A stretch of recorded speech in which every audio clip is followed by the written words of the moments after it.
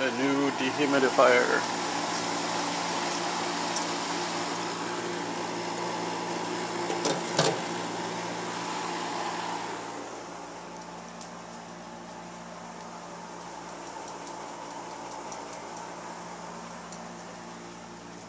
New, well, used washer from my parents' house and the new dryer